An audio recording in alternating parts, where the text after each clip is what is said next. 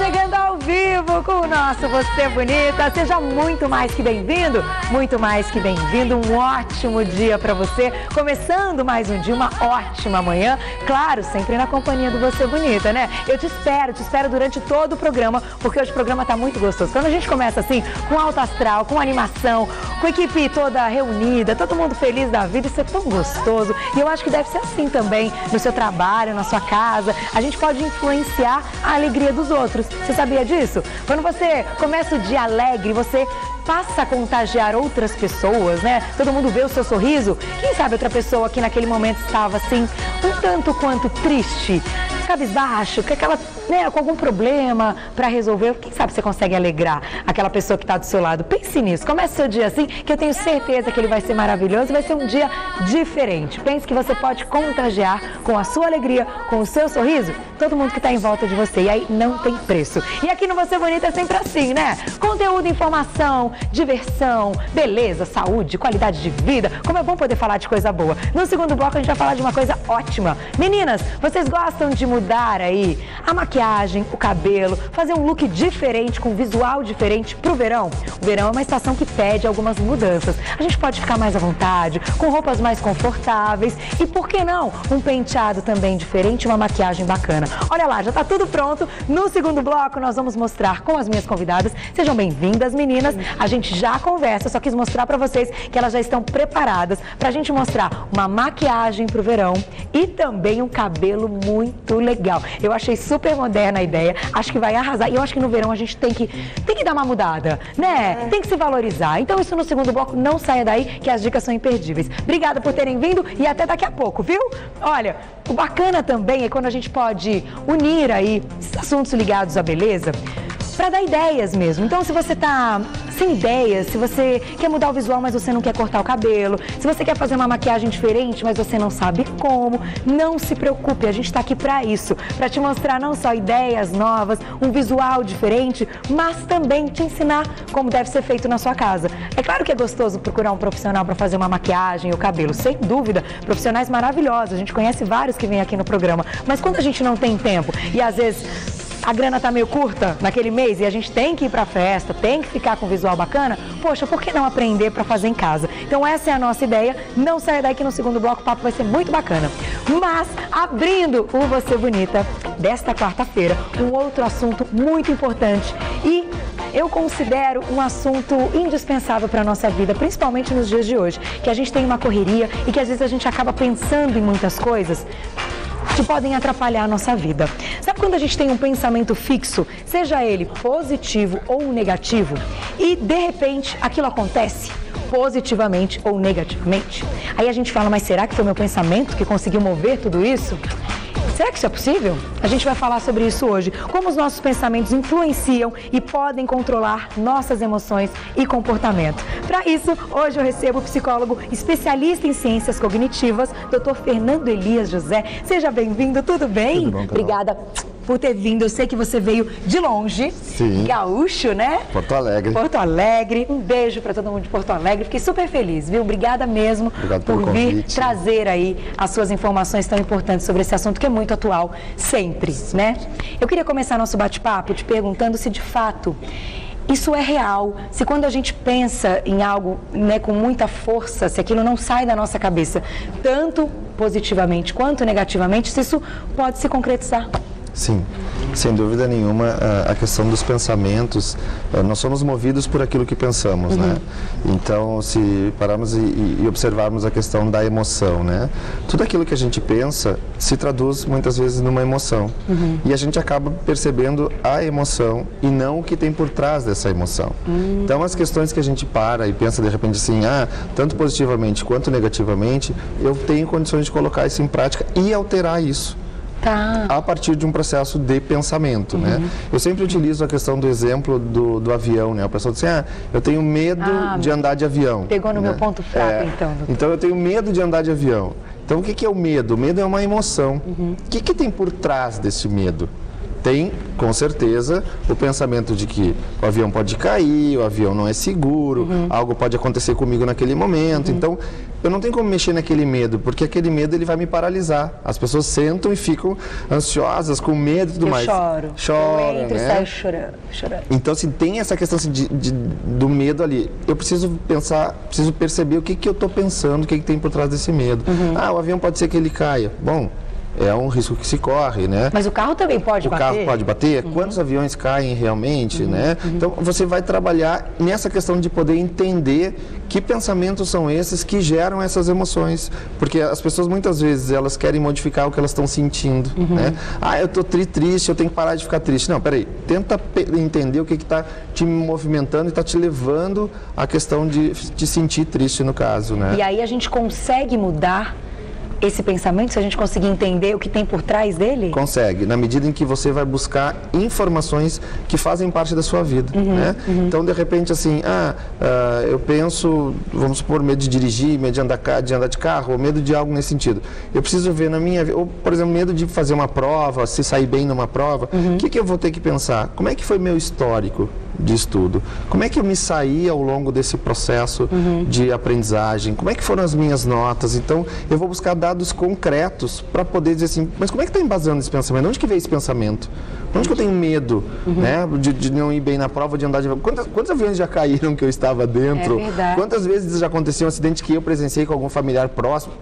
Nenhum. Uhum, né? Uhum. Ah, mas quando acaba acontecendo algum, é muito forte a divulgação. Ok, mas o que está diretamente envolvido com a minha pessoa? Então aí eu vou montar o meu pensamento do que eu acredito na minha capacidade de passar numa prova, uhum. na minha capacidade de dirigir, na minha capacidade de andar de avião, ou seja, e aí é que eu consigo modificar o pensamento. E quando a gente quer muito conquistar algo e a gente tem um pensamento positivo que aquilo vai dar certo, mesmo que naquele momento independa da, da, própria vontade ou de algo que a gente possa fazer, que dependa de uma outra pessoa. Por exemplo, conquistar aí um, um, uma carreira, entrar numa empresa, quem, quem quer trabalhar em tal empresa, um emprego, por exemplo, é possível é, com essa força, acreditando nisso, a gente conseguir alcançar esses objetivos também? É, no que depende 100% da pessoa, sim. Né? Tá. Quando existem fatores externos, a gente não tem como controlar esses uhum. fatores externos. Mas o que, que acontece muitas vezes? Quando a questão do pensamento positivo, né?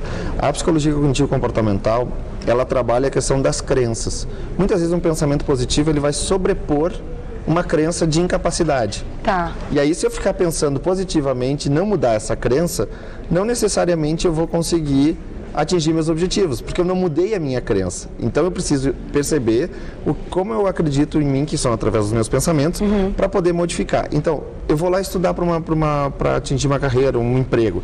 Eu vou pensar e vou perceber assim, o quanto eu acredito nessa minha capacidade. Entendi. O quanto eu sou capaz uhum. de fazer uh, uma boa prova, uma boa entrevista, né? Tá. Uh, usando um exemplo, né, antes de, de, de, a gente entrar no ar, assim, a, a questão da, do que contagiou aqui o estúdio, né? Quanto o pessoal Você acredita... Viu? É uma loucura, É uma, uma alegria, gritando, né? Assim, é, o quanto acredita, bom. acredita todo mundo que está interagindo uhum. aqui que o programa vai dar certo, é, né? Verdade. Então, é uma crença que está aqui. Uhum. Não, a pessoa chega lá, ah, eu sou umzinho e acho que não vai dar certo. Bom, eu sou um só eu acho que não vai dar certo, mas o programa vai dar certo.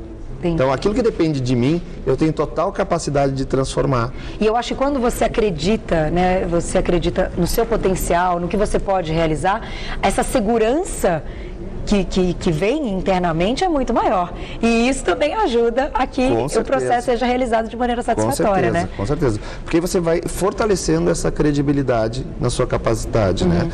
E, e também reconhecendo as suas dificuldades. Porque muitas vezes as pessoas, ah, eu não tenho capacidade. Tá, mas peraí, como que você não tem capacidade? O que está te impedindo nesse momento? Uhum. Não, eu prefiro só sentir que eu não tenho capacidade tá. e não vou modificar. A grande dificuldade que eu percebo nas pessoas, muitas vezes, é o fato de não admitirem as suas dificuldades e aí, a partir disso, poderem transformar. Uhum. Eu quero só dizer, não, vai dar certo, vai dar certo. Sim, mas peraí, eu tenho uma dificuldade real. Uhum.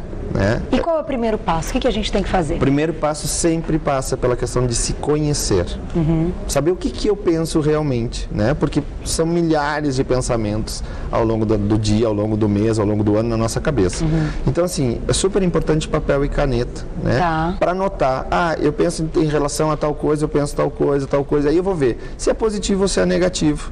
E vou sempre fazer, uh, vou sempre buscar dados de realidade que a gente chama para ver se esse pensamento dá base ou não para aquilo que eu tenho que, que tem que acontecer. Né? Então eu vou olhar assim, bah, uhum. eu acho que eu vou ter um final de ano super bom. O que, que me diz respeito? O que, que me dá uh, uh, condições de pensar nisso? Ah, eu estou trabalhando legal, as pessoas estão estão tranquilas à minha volta, tá tudo bem, ou seja, então tá. Então é bem possível que eu faça. Ah, mas eu acredito que não, mas o é. contexto te diz que está funcionando. Então você vai anotar as coisas que acontecem, porque tá. todo toda ação gera um pensamento, uhum. toda ela. E todo pensamento gera uma emoção. É verdade. Então, assim, muitas vezes eu saio da ação para a emoção. Uhum. E saio do, de cima do pensamento. Uhum. Eu não, não, percebo o que, que eu estou pensando. Então eu tenho uma é. ação aqui e vou lá para a emoção. É né? verdade. Ah, avião, medo. É tá, verdade. peraí, né? Uh, programa Nossa, disse bom. tudo agora, exatamente é, isso. É, avião, medo. Avião, medo. Peraí. Tem um que pensamento que aí no meio. O que, que são os pensamentos aqui? Uhum. Né? Então, final, final de ano, bom. O que, que eu estou pensando? Por que, que vai ser bom? Né? Estou desempregado, estou sem grana, está tudo dando errado. Mas peraí, final de ano bom, vai dar um furo aqui, né? Porque os pensamentos, ou a realidade não, não, diz, não diz exatamente a esse respeito que vai ser bom. Então, Entendi. eu vou identificar por isso que eu preciso anotar. Porque eu posso dizer assim para ti, uh, que a gente chama de pensamentos automáticos, né? Eu posso dizer para assim, para ti, avião, automaticamente tu vai pensar medo se tu tem medo de avião. Sim. Eu vou pensar liberdade. Cada um vai pensar uma viagem. coisa. Viagem. Uhum. alegria, coisas boas. Tá. São Paulo, programa, programa, né? Ou seja, ah. cada um vai pensar de uma forma. Por isso que eu preciso anotar para ter clareza o que que eu estou pensando. Então essa é a primeira forma de mudar. Primeira forma de mudar. Para quem anda com uma angústia ligada a alguns pensamentos que, que que não estão legais. Não estão legais. Emoções é... que não estão legais, tá. muitas vezes. Não são né? os pensamentos, são as emoções. As emoções não estão legais. Tá. Se a emoção não está legal, para para perceber o que, que você está pensando em cima disso. Uhum. Que sempre. Que tem, sempre. O que, que tem por trás disso? Tá. Porque toda emoção vai ter um pensamento. A emoção não, não surge de graça. É verdade. Né? Seja positivamente ou negativamente. Exatamente.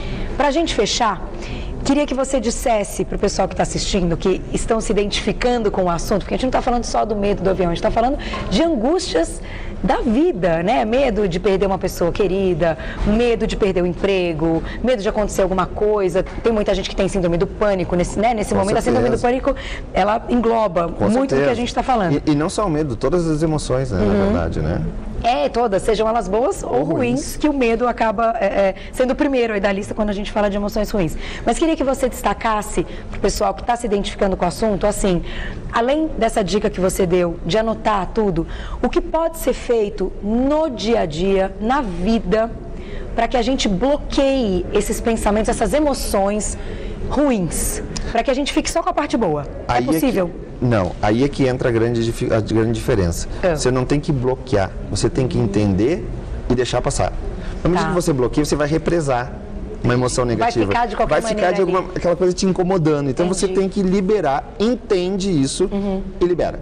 Né? Você vai trabalhar e vai resolver Passou isso. Passou pela cabeça, Passou, isso não é meu. Já, ouvi, já, já é me ensinaram a fazer exatamente. isso. Isso não é, é meu, não é, é meu. Quanto é meu, não é meu, tá no não vai ocupar minha cabeça nesse momento nem o meu pensamento. Foi. Tá. Se eu represar, trancou. Então, identificar bem, anota os pensamentos e tenha muito uma credibilidade assim, ó. Uh, por mais que a cultura que a gente viva nos, de, nos declare assim, ó, precisamos ser sofredores ou sei lá, algo nesse sentido, você não nasce para isso, né? Você nasce para ser feliz. Você nasce para ser feliz. Então, Nossa, busque esse, esse, pensamento assim, uhum. ó, não como um pensamento positivo, mas como uma possibilidade, uma realidade, uma situação totalmente irreal, né? Nós acabamos impedindo muitas coisas na nossa caminhada. Somos frutos daquilo que pensamos. Então, preste atenção no que você está pensando, não bloqueie as emoções negativas, vive, viva elas também de uma maneira tranquila para poder deixá-las passar. E libere. E, e, valorize mais as positivas. Verdade. Muitas vezes as pessoas valorizam muito as negativas, então valorize mais as positivas. Perfeito, amei. Volte sempre. Com certeza. É longinho, mas dá pra vir, Dá né? pra vir, com certeza. Muito Eu não obrigada. tenho medo de avião, eu posso vir tranquilo. não. Olha, eu tenho, mas eu viajo, não tem jeito, né? Viajar é tão bom, a gente né, vai. certeza. Vai no desafio, mas vou pensar nisso que você falou. Muito obrigada. Quero agradecer muito ao Dr. Fernando Elias, que tem um livro muito legal, só vou mostrar pra vocês. É esse aqui, Concursos, Faça Sem Medo, Entenda, Domine e Supere os Seus Desafios. Tão bacana, olha lá, já está aí. Ele tem dicas muito legais, né? Tem, o começo fala- do livro é um pouco o que a gente estava falando, né? Exatamente, exatamente. Parabéns. Eu vou Obrigado. passar para vocês o site também do Dr. Fernando, que é o www.fernandoeliasjosé, tudo junto.